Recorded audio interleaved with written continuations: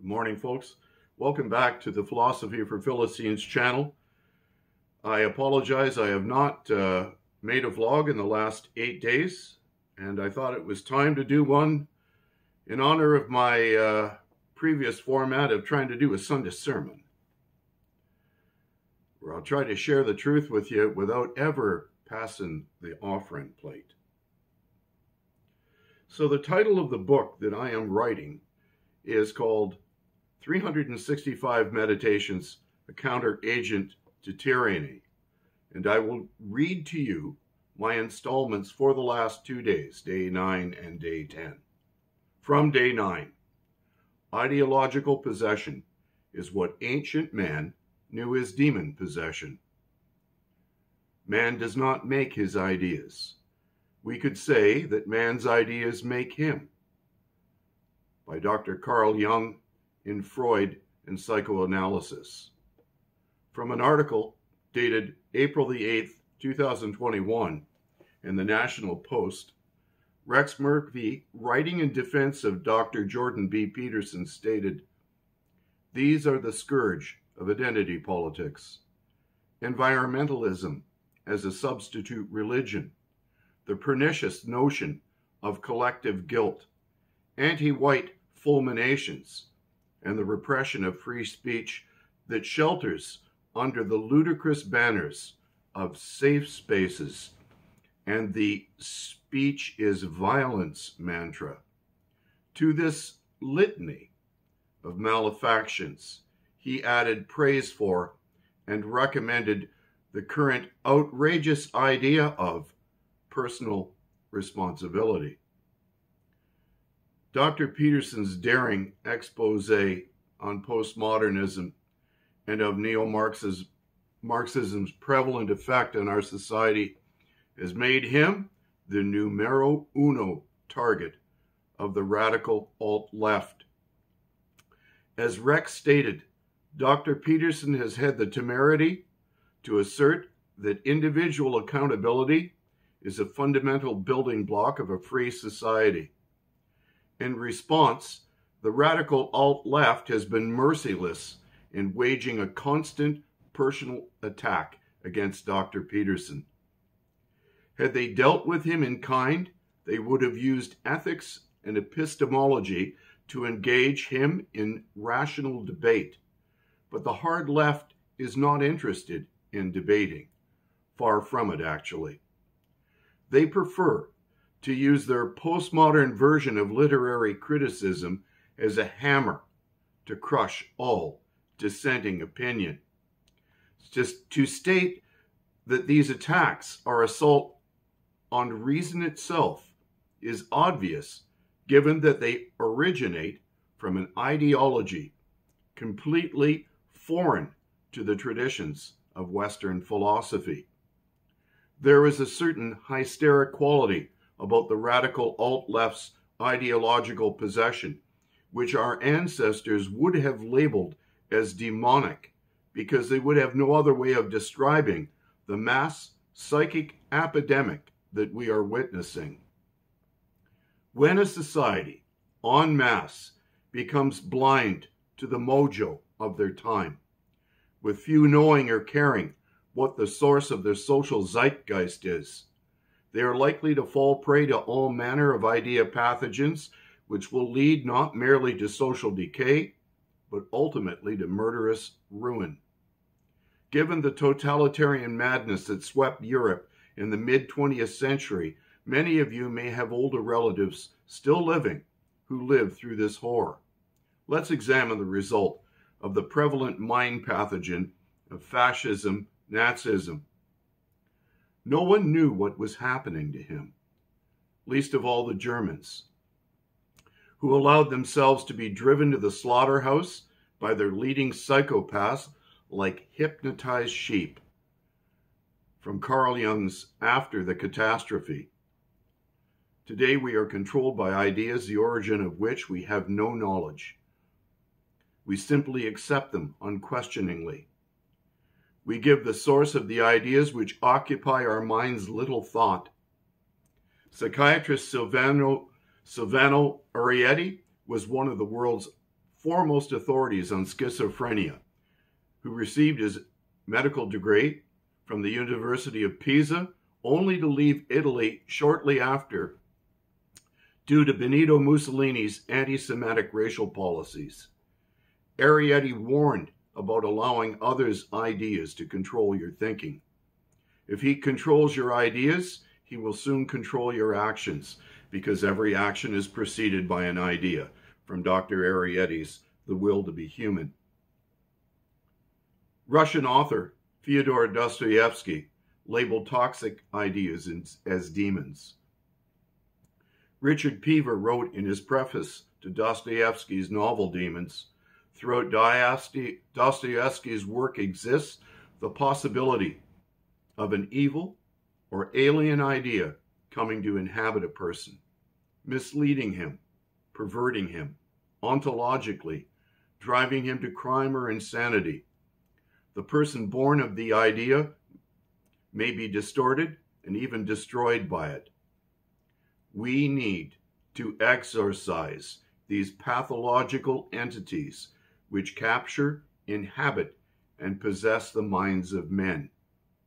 Ancient man understood the need for such, yet we have come to deem him to have held primitive superstitions for believing that people can be possessed by pathological psychic phenomena. Nevertheless, today we can clearly see such psychic phenomena manifesting themselves, which are the result of pathological ideas undermining social order as they erode the very ethical foundations of civil society. And from today, day 10, Jungian archetypes and the collective unconscious, disabusing, disabusing the postmodern hard alt left types that man is born, tabula rasa. One of the most obvious reasons, at least to me, that the hard alt left hate Dr. Jordan B. Peterson as much as they do is that he is a Jungian psychologist who uses deeply metaphorical truths to reveal the nature of our shared humanity. Carl Jung asserted that this subconscious nature is heritable and that we have identical, identical psychic structures common to all, which influence the way we experience the world.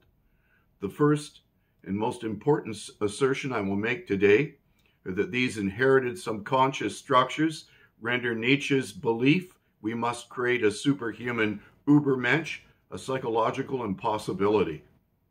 Mankind cannot create his own value structure, since such structures are inherited and reside deeply within our collective unconsciousness. Jung's archetypes subconsciously influence our lives, our relationship to how we perceive the symbols, which help explain the archetypes, and the connection between our religious experiences and these archetypes. The postmodern neo Marxism of the hard left is simply one more attempt at forcing people to supersede their own collective unconsciousness. The inevitable result of which will cause a psychic epidemic of dysfunction and mass hysteria. Jung student Erich Neumann made an analogy of our body's component parts to illustrate the role of the archetypes in creating a healthy, complete individual. Our body and all its organs were formed in the womb. In like manner, so our minds possess psychic organs which determine their structure.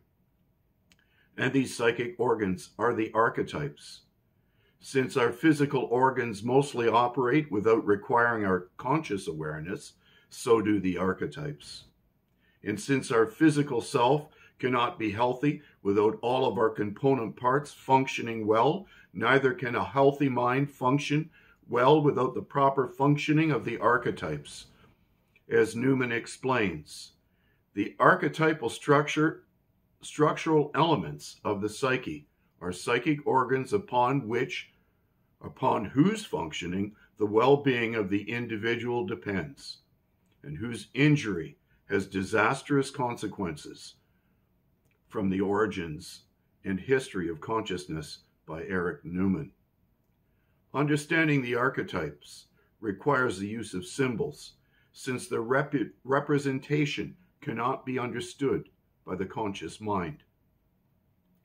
The symbols must be used to approach the archetype from several angles so we may come to a fuller understanding of the underlying archetype.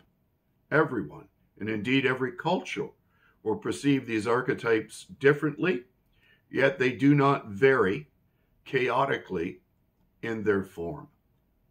The self archetype holds the key to all other archetypes, or as Edward Edinger reveals, there is a wide array of symbols manifested by the self.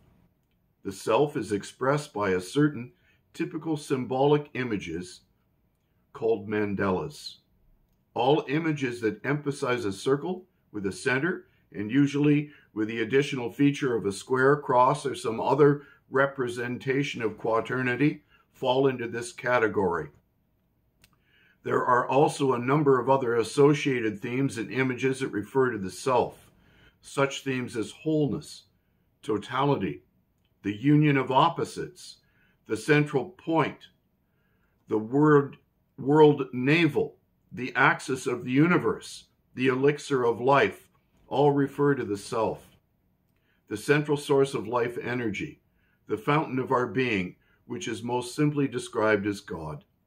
Indeed, the richest source of the phenomenological study of the self are in the innumerable representations that man has made of the deity, from Ego and Archetype by Edward Edinger. Postmodern neo Marxism is an attack on the self aimed at rendering the discovery of life's deepest meanings an impossibility. The mandala symbol is repre- a representational image of where the real self meets the transcendent. A cross is a type of mandala. Jesus himself spoke in imagery and parables because he was pointing us toward truths the conscious mind alone cannot grasp. I hope you enjoyed that, and I hope you look forward to reading uh, the book that I'm writing of daily meditations as much as I'm enjoying writing it. God bless you. Have a wonderful day, and we'll see you next time right here at the Philosophy for Philistines channel where I'll never pass the offering plate.